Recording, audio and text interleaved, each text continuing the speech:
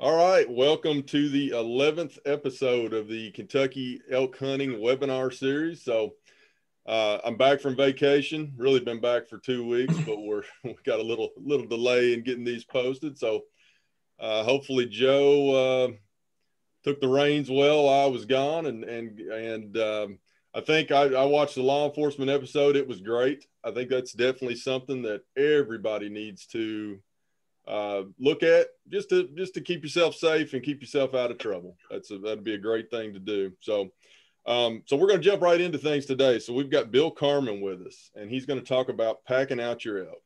So Bill's a founding member of the Kentucky Elk Guides Association, and he frequently gives seminars. Uh, and one of the ones that we've seen is is when he's talked about packing an elk out, and he does as good a job as anybody. So uh, I ran into Bill about 2006. He killed the first elk in Kentucky with traditional archery um, on, on a on a hunting area that was that was kind of near where I was doing some of my research, and um, I just remember thinking that you know that day he had packed that entire elk out himself, about a mile to the truck, uh, and and for a you know flatlander Western Kentucky guy, it was completely foreign to me that you would cut something up and uh, you know, carried out of the woods on your back. So um, to me, I, I I, there, you know, I had a lot of thought about that after, after I saw that happen. And I thought it was incredibly cool. And uh, it also just really, it allows you to hunt elk back in the middle of nowhere and get that thing, you know, out of the woods and, and in the freezer. So uh, something very interesting. But uh, again, Bill does a great job of describing this, and, and we're going to turn it over to him and let him um, introduce himself a little better than I did and uh, jump right into the to the presentation. Thanks, John. I appreciate you being here. Uh, as I've gotten older and older, it's a lot harder to drag anything out. And so I found that even with whitetail deer, it's a whole lot easier to cut them up and pack them out on your back than it is to, you know, to drag them any long distance at all. So I'm going to try and get on this uh, PowerPoint here. Uh, you guys tell me if it's not working. Uh, let's see. Can you see it? Looks good. There it yeah. is. All right. So uh, again, I'm Bill Carmen. I have an outfit called Kentucky Wild. When I retired after 10 years with the Rocky Mountain Elk Foundation, I uh, started Kentucky Wild. And in that capacity, I guide elk hunters. I guide fly fishermen. I do mostly fly fishing seminars uh, and uh, do a lot of outdoor writing. I've got some books out. But uh, today we're going to talk about, um, see if I can get this to work here. Well, why is that not working, guys? It's not forwarding here. Uh, let me stop share. Yeah, try her. Try her one more time. Okay share screen. Uh, let's do this. Now, what are you seeing there? That's yeah, your I've PowerPoint. Got your PowerPoint now. So you mean can you see the on the left there the? Yep. Or is that from beginning? Okay. Let me hit slideshow. You're on to that. Yep. Hit from beginning. All right. Now let's try it. All right. There we, there go. we go. There's some editing for you. So the the uh, title is uh, just shot an elk. Now what? How it's been? I can't imagine how many times uh, I've had clients, and even with my own hunts, you know, you walk up to a dead elk and you go, "Now what?" It's you know, it's a monster animal lying there, and there's absolutely no way you can drag such a beast any distance at all. Now, you may get lucky and drop an elk right so you can back your vehicle up to it. But that's very rare, particularly these days when these elk have, are scattered and in remote areas. So I just shot very quickly. We're going to talk a little bit about blood trailing or just evaluating the shot. So what you want to do, and again, I'm not going to spend a lot of time on this because I think there's another webinar that's going to deal with it in more detail. But what you want to do is evaluate the shot. Did you see the impact? Is there blood? How did the animal behave? If you're rifle hunting and the elk drops, the rule of thumb is if that elk is still moving, if you see antlers moving or legs kicking, you need to keep shooting. Don't stop shooting until that animal is stone cold dead. Uh, several times I've witnessed uh, uh, hunters shoot an elk with a rifle and it drops. They start high fiving, and then all of a sudden the elk stands up and walks off, never to be seen again. So you want to keep shooting until that animal is dead. With archery gear, what you always want to do, it's just like deer hunting. You want to make sure you wait and allow that animal to die. Even if you double lung it and you hear it fall, I would wait 30 minutes and then, you know, you can go up to it, but make sure that when you do that, when you're blood trailing or approaching the animal, make sure you do it very quietly. And even it, it's even a good idea to approach from downwind because if that animal's still alive, uh, it could just get up and take off. So even if you think it's stone cold dead, approach it very quietly because you may need to get a second shot. All right. So don't wait until you're standing over a dead elk to ask now what. What you want to do is pre-plan.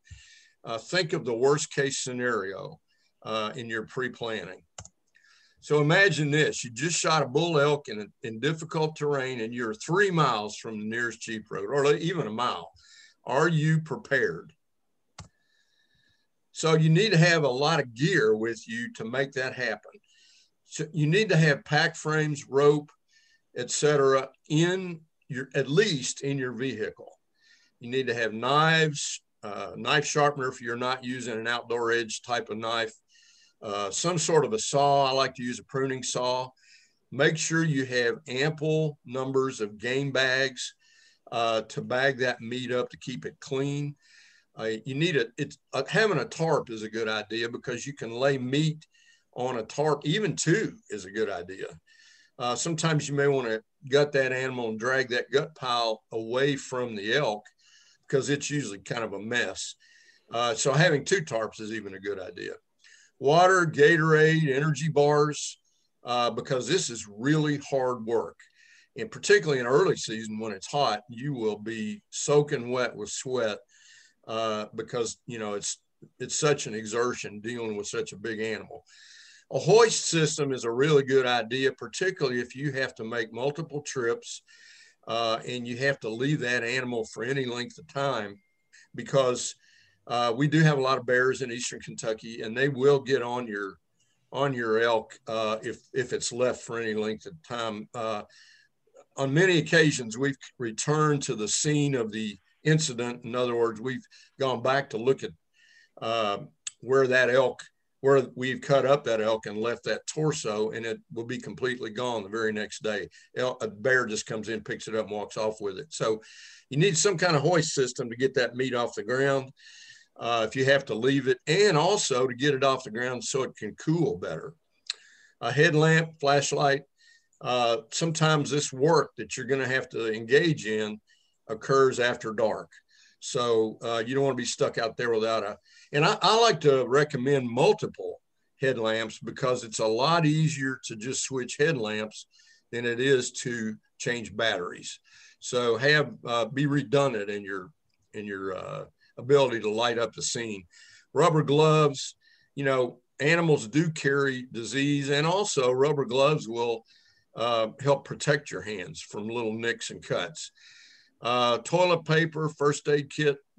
Toilet paper is always a good thing to have for the obvious reason. And uh, you can use a roll of toilet paper to soak up blood uh, inside a body cavity.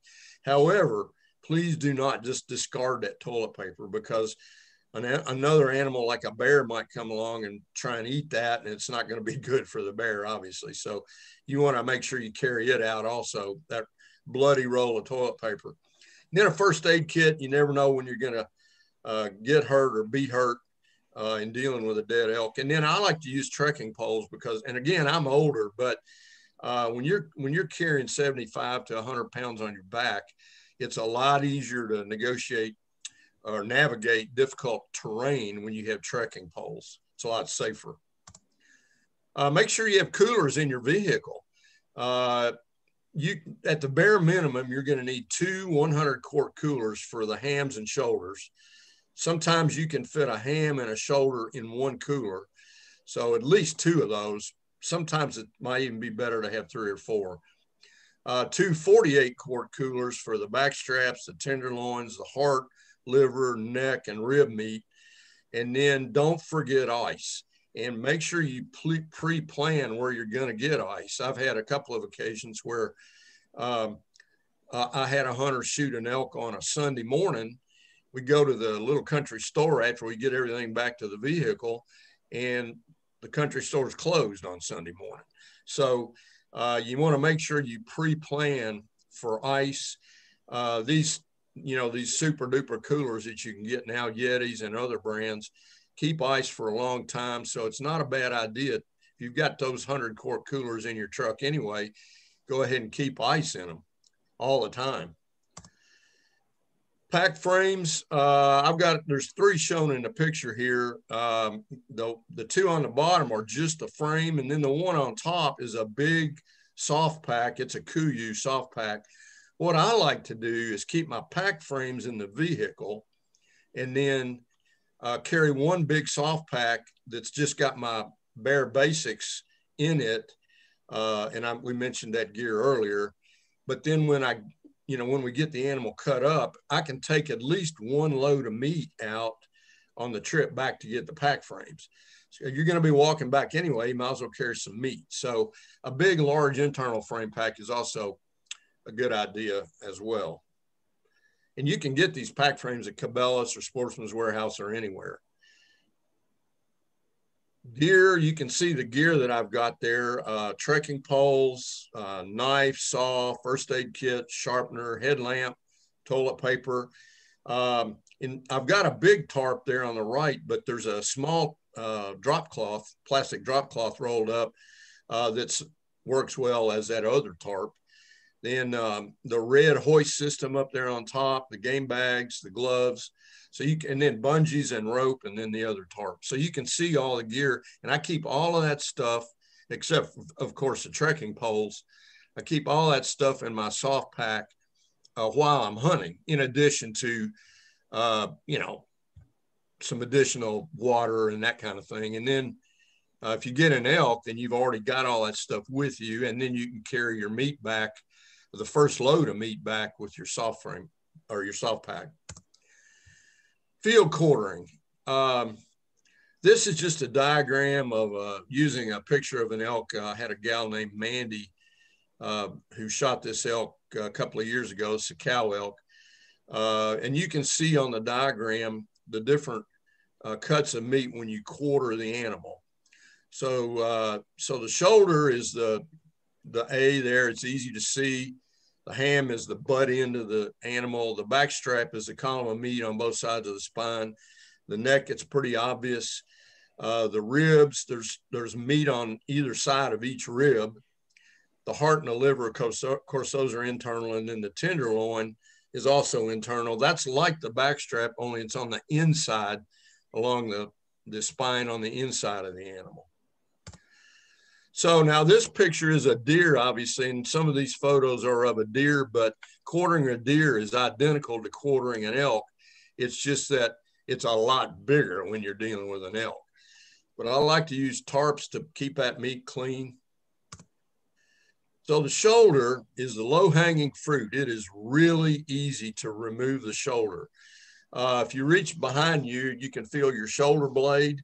So what you do is uh, you take the animal and you just work your knife around the outside edge of the shoulder blade and then cut the web of meat and skin under the arm and that shoulder comes off very very easily. Uh, again the low hanging fruit that's usually the first thing that i take off is the shoulder. The ham is a little more difficult because you've got to be careful and not puncture uh, the digestive system. Now, in this picture, this deer has already been gutted, but you don't have to gut an animal before you quarter it. Uh, so, what you do is you, it's a lot easier if you uh, have somebody helping you, or if not, you can take a rope and tie onto the leg and tie it onto a tree to hold that that leg back so that you can work. So basically you just cut down until you get to the ball joint Again, being careful around the digestive system. And there's a uh, there's a little tiny tendon that connects the ball joint to the pelvis. Just work your knife in there and slice that little tendon, and the whole thing will just pop. In fact, that makes an audible pop sometimes. It'll pop free, and then you basically just work your knife around the the meat. Uh, again, being careful around the digestive system. And you can see, uh, again, that's removing ham. And an elk ham's a lot bigger. It's, again, it's easier to do it if you've got somebody with you. If not, then just tie that leg back to a tree. The back strap is a column of meat along each side of the spine, and it's kind of like filleting a fish. You run your point of your knife uh, on both sides, on one side along the, the uh, bigger end of the ribs and on the other side along the spine, and it just fillets right off. And that's what a backstrap looks like when you get it done. Of course, with an elk, it's about three times bigger than that, but and that is the primo meat on the animal. The tenderloin is really good, but it's not real big. But the backstrap, you can cut that into medallions, and it's making me hungry just uh, just thinking about it. That's the best meat on the animal, I think.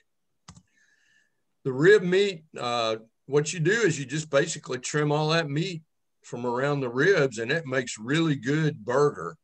Uh, you can grind it up and make it, you know, make burger. And on an on a deer, there's not a lot of it, but on an elk, there's a lot of rib meat. So you don't want to leave that. Uh, it's you know, it's a real waste to leave the rib meat. The neck roast the neck uh, on an elk is huge and it's really heavy. So I like to go ahead and uh, peel that skin back. If you've got a bull, you want to peel that, uh, a bull that you want to mount the head or do a shoulder mount, you peel that uh, skin back all the way up to the neck and uh, then remove the, the, ro- the neck roast. Just cut the big slabs of meat off each side of the neck and that stuff is uh, good as a roast and of course it's really good if you grind it up too. Now again you don't have to field dress the animal first. You can. Uh, on the inside what you're looking for is the uh, the heart the liver and the tenderloins uh, which is the column of meat on either side of the spine on the inside. So it's a lot of work field dressing uh, an elk. You're basically up up to your shoulders in in the elk. Uh, and in some cases, it's a good idea to pull that all that out and put it on a tarp and drag it out of the way, drag that tarp with the gut pile on it out of the way just because it's a mess. But particularly if you've shot one through the lungs, it's gonna there's gonna be a lot of blood on the inside. But what you want to do is reach up near the neck as far as you can and slice the trachea and the esophagus, which is the windpipe and the tube that leads to the stomach slice those off and just start cutting away with the membrane that's holding it all in and just peel it all out. And again, it's pretty big. It's probably an elk gut pile is probably, I don't know, 20, 30 gallons. It's pretty large. Um, in some instances, I like to keep the hooves on because they serve as kind of a handle you can hold on to. But if you've got a long pack out, you know, the hooves do have some weight to them. You don't have to saw those off. You can use a knife, just come down to the first joint above the hoof and uh, take that knife and work it around and, you know, cutting all the tendons and uh, ligaments and it'll, it'll pop right off. Now, a lot of people like to make ossobuco, which is a, a dish that um, uh, uses the, the uh, you know, the lower leg and so uh, a lot of times, you know, you might want to keep that hoof on there so that when you take your lower or the quarter to the butcher, you can have him remove that uh, that shank uh, because you know it's actually pretty good if you cook it right. But if you don't want to worry about that, go ahead and take off the hooves and uh, and and have at it because they are heavy. So the result, again, laying on a tarp here, you've got your back straps, You've got your scrap meat, which would be your ribs and uh, and your neck. You've got the two uh, the two hams and the two shoulders, and you can see where I've taken the hooves the hoof off of one of those hams. Uh, and so that's basically what you end up with. With a deer, you can actually put all of that in one big pack. Um, or at, at the very least, you can get it out in two loads. With an elk, it's a little more difficult. And um, so you want to use game bags for keeping the meat clean and for transportation and for hanging. One other thing I might mention is if you're near a stream or a little uh, little pond or whatever, when you are packing or or uh, working on your elk, you can submerge those bags full of meat in that water. And if it's early season, it'll help keep them cool. That water will not hurt that meat at all. You just want to make sure you wash it off real good before you start processing your meat. But that'll actually help keep it cool. I've never people say that'll ruin the meat. It, I've I've been doing that for years, and it does not ruin the meat. And don't forget the ivories. Uh, elk have a little tooth. It's a vestigial kind of a fang thing, but it's uh, it, we call them ivories, and they make really good jewelry and good keepsakes. Uh, so don't walk off and forget your ivories. Uh, even cow elk have ivories. So, and the bigger the bull, the bigger the ivory. So, and that's a that's a ring I had made with that bull I killed on Beech Fork from the ivories on that bull. So use your pack frame to haul all that stuff. So there's me hauling out a complete uh, doe. I was gonna, um, that's a doe whitetail. I was gonna, uh, my grandson was with me. He helped me blood trail, and I was going to uh, boil the skull for him. So I went ahead and kept the head.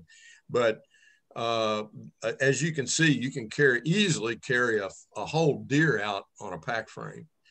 Uh, it's a lot easier than dragging, and really quartering a deer only takes about 15 minutes. Now an elk, it's a different story, but um, you know it's a it's a at least an hour, if not longer, process. But it's a you know in some instances that's the only way to get them out.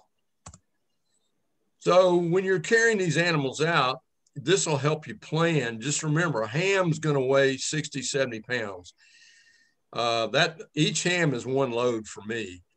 The shoulder and the back strap and the tenderloin is about the same weight uh, for each shoulder, back strap, tenderloin. And then the rib meat, neck, heart, liver, uh, you know, again, about 40, 50 pounds. The head, antlers, cape, 80 to 90 pounds. And then you might uh, uh, just cut the skull cap off.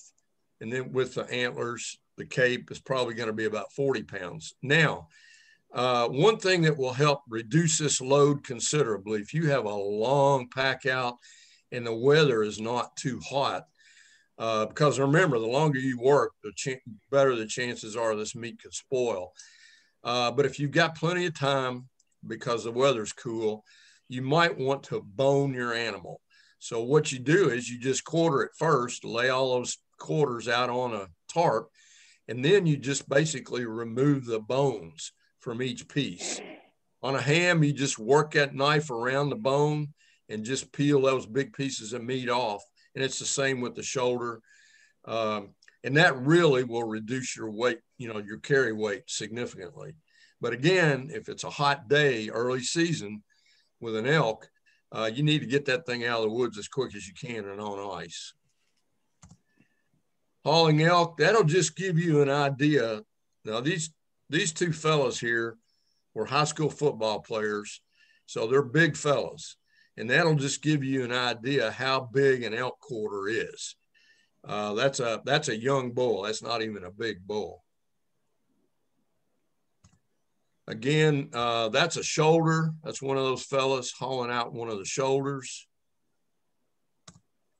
Uh, this is a spike bull this fella killed. Uh, he got the the the bull and the, all the scrap meat on his pack frame, just the head and all the scrap meat on the pack frame. And he fell, he slipped and fell into a briar patch. And we like to never got him out because it was, he had this big load on his back that was so heavy. So again, even a young bull is fairly significant weight. Hauling meat, the lower leg, leg and hoof can make for a good handle for short trips that's just a deer there. But uh, you can do the same thing with uh, an elk. Uh, again, though, if you have to haul them for any distance, you probably want to remove that lower leg because of the weight. Heads are very heavy. That that's about a 300 inch bull that fella's carrying. Uh, that was one of my buddy Donald Thomas's hunters, and uh, he came back into camp one morning and said they needed help. And I asked him, I said, "How far are we going to have to carry this these pieces?" And he said, "Only about 150 yards." And I thought, well, we can knock that out in half hour. When we got down there, and that bullet jumped off a cliff, and uh, we had to uh, we had to rig up ropes so we could pull ourselves up with ropes with the elk on our back, pieces of elk on our back. But that's the head, and that daggone head probably weighed, I don't know, at least 100 pounds. Um, it was big. Again, hauling heads. That's a, a five by six bull, is a big mature bull. Uh, one of my clients killed, and it took six of us one trip to get it out. And I, uh, I carried the head, and it about killed me getting that head out. It probably weighed 100 pounds, and it, as you can see, it was not uh, flat ground. It was very steep getting that thing out. In retrospect, and it was a warm day, but in retrospect, what we probably should have done is gone ahead and cape that animal and taken off the skull cap. Caping takes a while. That's removing the skin from the head for later mounting you got to be very careful around the eyes and the nostrils and the antlers, and it takes a while. So, you know, if it's a hot day, you probably ought to go ahead and get it out. But if you've got plenty of time, it's a lot easier to go ahead and cape that cape that uh, head out and uh, cut off the the skull cap with the antlers attached. I will mention one thing. Uh, this has nothing to do with hunting in Kentucky, but if you're coming in from out of state with, uh, you know, with a big bull of ungulate like a elk or a moose or whatever or deer you cannot bring that whole head back into kentucky. It's a cwd preventative measure. So you have to take the skull cap off or uh, you have to boil that skull before you bring it back and complete, completely clean it up. Um, uh, that, and that's a problem uh, you know sometimes. But now there are taxidermists and taxidermy supply houses that are offering fake skulls. So you can cut the skull cap off and buy a fake skull if you wanted to do a European mount. And basically, you just bolt that skull cap with the antlers onto that fake skull. Looks very realistic. And that way you don't have to worry about the CWD is- issues. Again, hauling heads. As you can see, I'm straining under that load there. And the rewards of uh, what all this hard work is, you know, all that really good meat. That's uh, elk tenderloin there, uh, sliced up into medallions. And then, of course, you can take the scrap meat and make tacos or a million uh, recipes for elk. And even the heart and the liver, um, you know, are really, really good. And then uh, more rewards. That's uh, that that bullet I had on that bullet I had on my back down off the side of the mountain in that previous slide, that's uh, the result of that bull. Uh, that hunter was extremely proud, uh, and that's you know another reward to all this hard work. So again, pre-plan for ice, meat processors, and taxidermists. And I'll give you a good example of this. Uh, there's a wonderful meat processor down in near Manchester uh, it's an Amish owned outfit. They do a really good job, but they're not open open on Saturday afternoon and they're not open on Sunday at all. So again, you got to pre-plan and find meat processors and places to find ice uh, that you know that are going to be open when you need them. And then, of course, make sure you plan pre-plan for your taxidermist if you're if you're bull hunting or even cow hunting, I suppose. Uh, real quick, uh, if you're interested in hiring a guide or just getting advice, contact the Kentucky Elk Guide Association. Uh, you can go on their Facebook page and get a list of elk guides that are members. And this is a good way to help you have insurance that your hunt will be a quality hunt uh, that will be done in a legal and ethical way. So if you have any questions, you can contact me at KentuckyWildBill at gmail.com. Uh, it's not that I'm con- it's not that I'm Wild Bill. It's just that my Kentucky my company is Kentucky Wild, and my name's Bill. So it's Kentucky Wild Bill at gmail.com. Any questions, uh, John and Joe? Yeah, I got a couple things that I've that I've picked up on there a little bit, and I'm just going to exit us out of full screen there. Okay. You mean do anything on my end here? Uh, no, that should be good, and that'll get us back to where they can see us. So, so here's my opinion. This is a, this is going to be a little bit blunt, and this comes from years of of working the elk hunt and running into um, uh, more often than not unprepared elk hunters. So that's sort of the premise behind these webinar series. Is just to put good info out there, and and when people go afield, they're better prepared than I've I've seen over the years. Some of them are great. Uh, but a lot of times it's that uh, you know we we stay down there at the Hazard office during the hunt and somebody comes by at, at, at, midnight and they've got a cow down that's laying in the creek bottom that's you know 500 vertical feet from from the road and they had no idea you know i've i've, I've had people pull out a, a dull swiss army knife and a couple trash bags it's you know so that's always been it's always been my reason for doing this so i guess my general my general idea on this whole thing is if the, if you're a DIY hunter, you've got to be able to pack out your elk. Don't you know? Don't come to East Kentucky assuming that it'll die close to the truck or that it will be on you know that there will be level ground between where the elk goes down and and your truck. It's just not the case.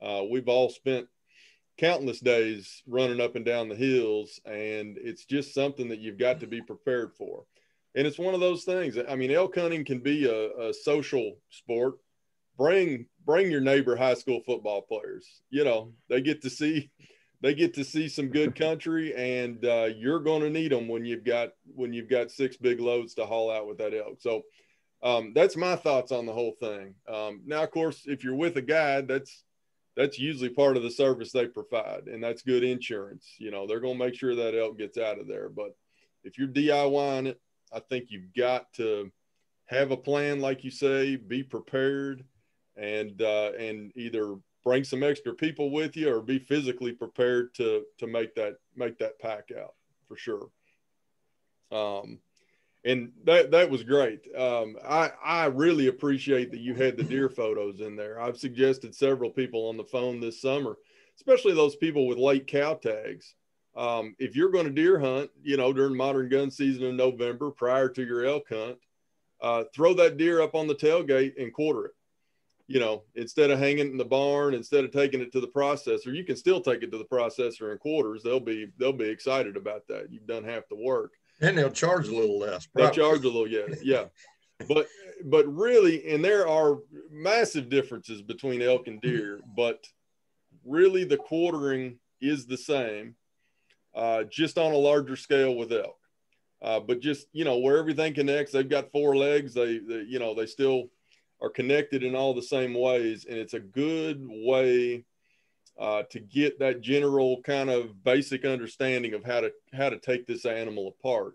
Try it out on a deer. I mean that that absolutely uh, will put you ahead of of you know being out somewhere at dark thirty, having to break down a cow. So. Uh, no, the other thing is, uh, with, and I do, I quarter all my deer in the mm-hmm. field mm-hmm. now. I live in town. I don't have a barn to hang them in. Yep. I've got some trees I can hang it in, but uh, it's a lot easier to bring home just the quarters. It's a lot easier to dispose of the waste, you know, like the bones and things when you process it, than it is to dispose of that whole torso. Mm-hmm. So it's a lot easier to to just bring home the quarters and leave that torso in the woods. Um, you know, and I do that.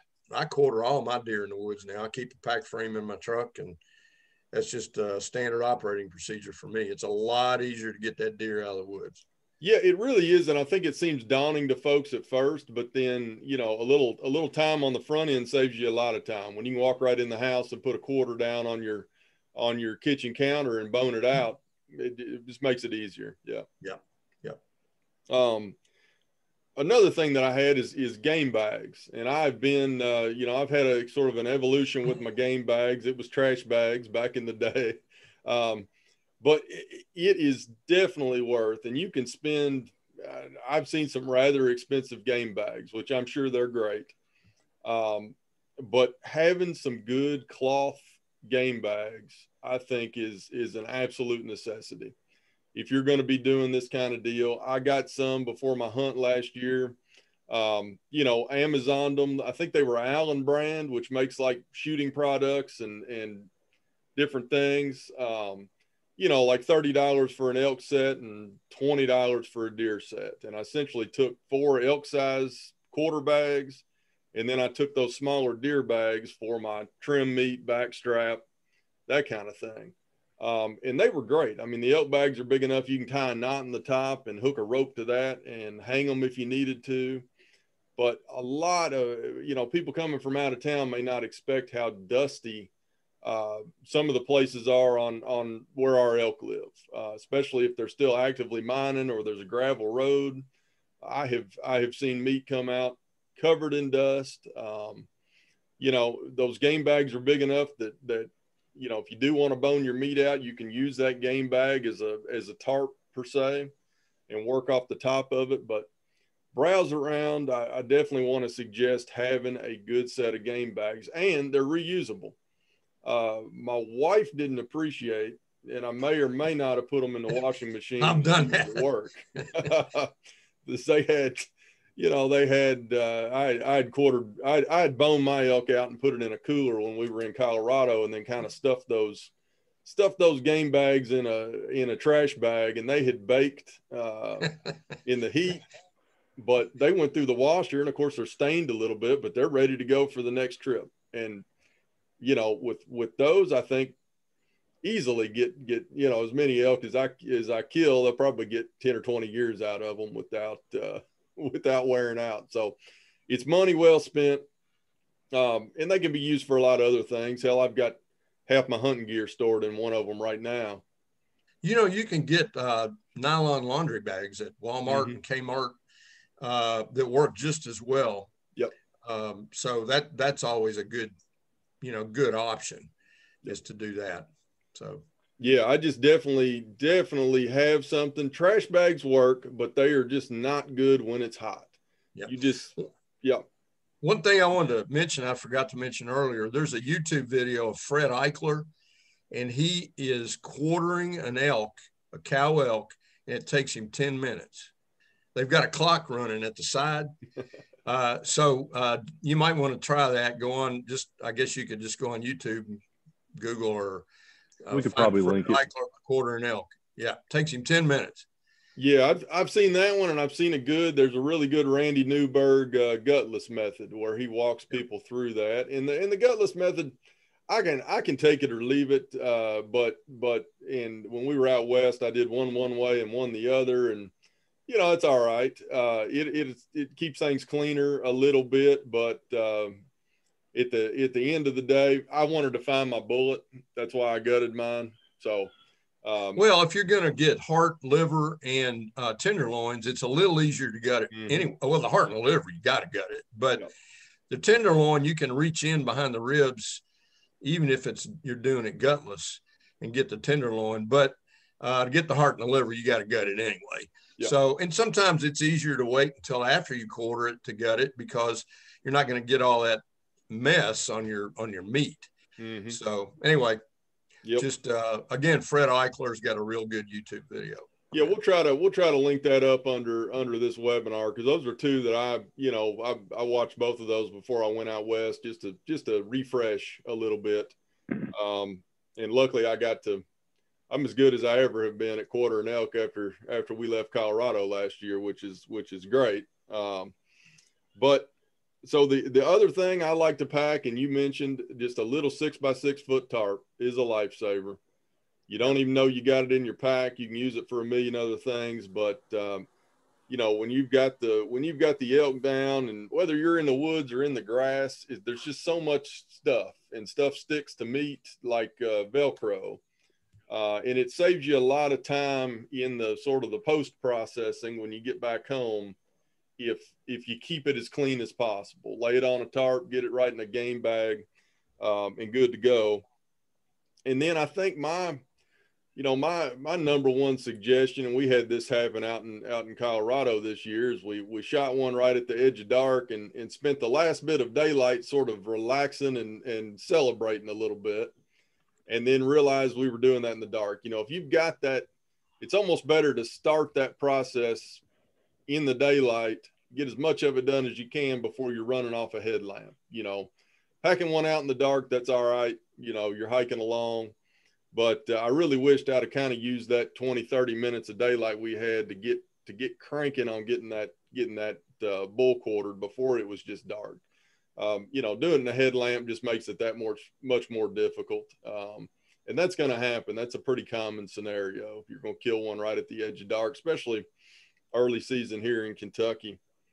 Um, and then just this this sort of goes back to uh, to you know what Joe and I have seen over the years. Like there was one day that we'd been out, uh, you know, uh, the, the first year that we had our had our regulated uh, voucher program out there. I had to deal with some some landowner stuff that morning, and was cruising back into town and hit up the McDonald's, and it was it was a 90 degree September day, and there's a there's a gutted bull elk laying on a laying on like a 16 foot trailer, and they're uh, in McDonald's getting lunch, and I knew for a fact that they had killed that one at daylight that morning, uh, and that just you know kind of makes me cry a little bit, but really the the quartering, I, I would probably never even bring one out whole in the in the early season if I could you know, I want to get that animal quartered, get that meat initially cooled down. I mean, elk, their their normal body temperature is 100 degrees. Uh, so when you think about a big elk ham, it's going to be 100 degrees in along that bone for hours.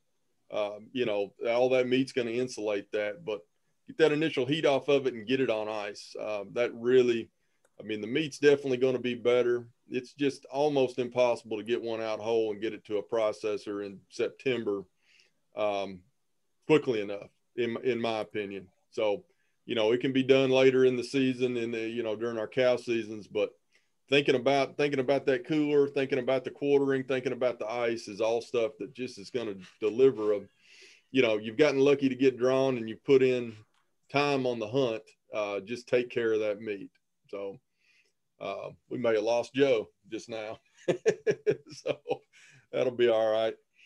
I'm trying to think a couple other other things I had. I think that's about got it.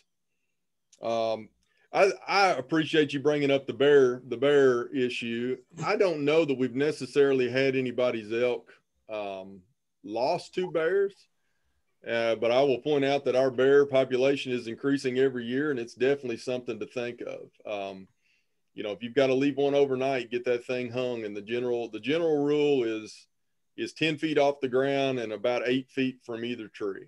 Um, so if you can run a rope between two trees and hang your quarters from that, it'll be it'll be safe. And there's lots of guidance out there on hanging your food. If you're you know hiking in the Smokies or something, they've got good diagrams of how to hang it. But I wouldn't leave it to chance, uh, kind of especially down in that southern and and uh, eastern end of our elk zone where our bear population is higher for sure.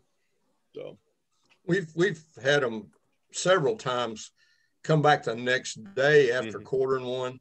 Just happened to be walking by the, you know, the torso with another hunter going into the same area, and they've completely gone. And it and it appear it appears as though a bear just kind of picked it up and walked off with it. Um, I don't think these bears are dangerous. They're not like grizzlies on a carcass. Right. It's just that you know you know you don't want to lose your meat. So and it's good to hoist that meat off the ground anyway if you have to leave it because it keeps it cooler. So one other thing I'm thought of is, and I forgot to mention, uh, if you have to leave that meat out in any length of time, go ahead and slice if you're using, if you got full quarters, go ahead and slice down to the bone, uh, make some slices in that ham and shoulder to, to let some of that heat out. Yeah. Uh, you know, just One, get, get it opened up a little bit. Mm-hmm. You, you, all might have touched on, I apologize. I had some audio issues. Um, but one thing that I didn't notice in the presentation that I always do is skin it when I quarter it. Um, I immediately pull that hide off because I think that's very important to get it cool right away. and I will reiterate, I do. I'm a huge fan of the small tarp. We just did a, a video last week about um, you know things we keep in our pack, and that was one thing I tried to highlight. But um, taking that hide off will reduce the temperature of that meat very, very quickly, and especially if you get it off the ground. Even if it's 90 degrees, if you have it off the ground and it's getting a little bit of airflow, it's automatically going to cool down.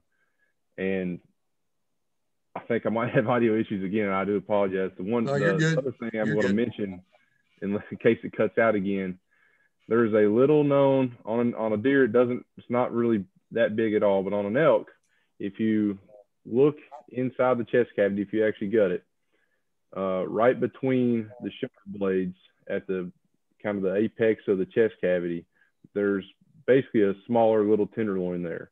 Set on a deer, it's about you know, a little bit bigger than a finger, but on an elk, it's about the size of like a deer inner loin.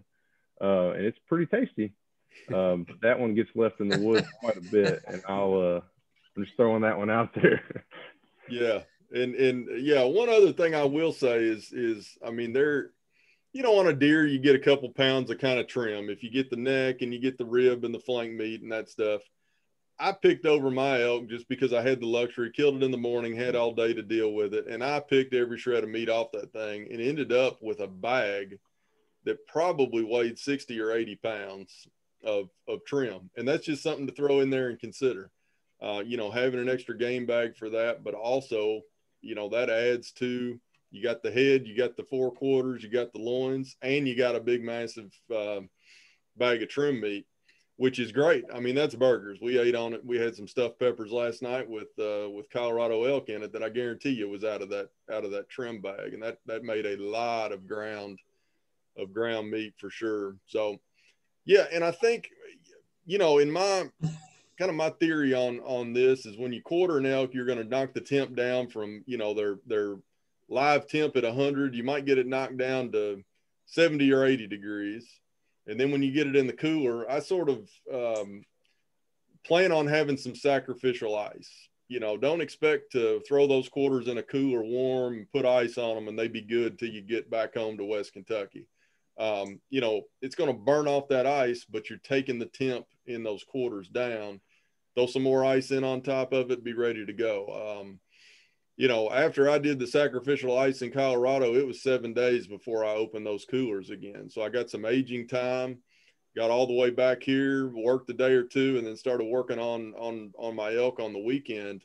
Um, and so, and that was no problem. I mean, that's good. It was all in Ziplocs, boned out, clean and ready to go. So got a little aging time, and and um, the coolers handled it well. And it will, I will say, I'm, I'm lucky. I won a really awesome cooler at a Ducks Unlimited banquet but uh, that was just one cooler. My other one is a, you know, 50, 60 dollar one from Walmart and it did almost as good. And we were in, you know, September, uh, driving back across the, the middle of the U.S. It was, you know, 80, 85 degrees. So have you, have you some coolers, but by no means do we, do, do you need a thousand dollars worth of cooler. Just have you, have you something that'll keep some ice for a little while.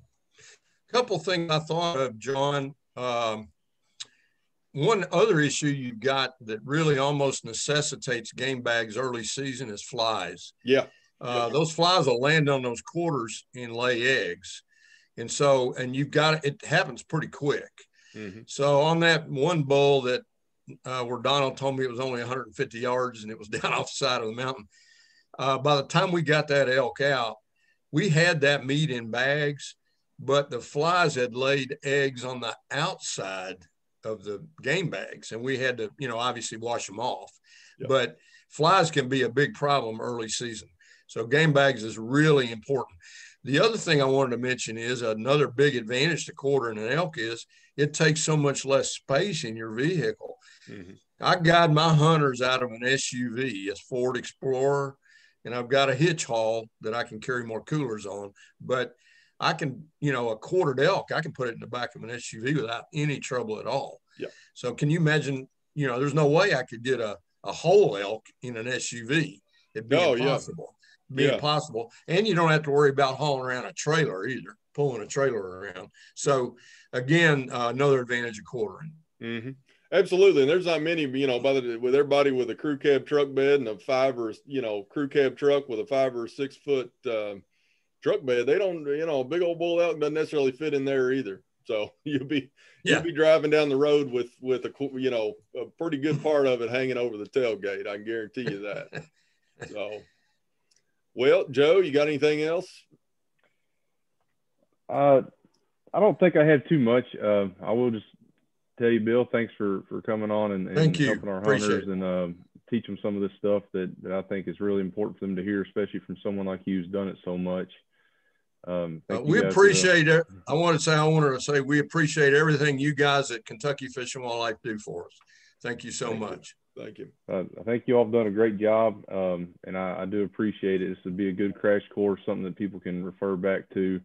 Um, and, and the last thing I'll say, I've, I've, I've had hunters before who, you know, have deer hunted for a long time and they're just so hesitant to jump in and it, because it's an elk. Oh, it's different. It's honestly, a, uh, you know, from the anatomy, when you're, when you're going through the process of quarter mount, it's really not any different. It's just a much bigger scale. So don't, don't think of this as something that you can't do. If you've deer hunted or even if you watch his videos, you can do it. It's not, it's not the end of the world. It's something that's worth doing.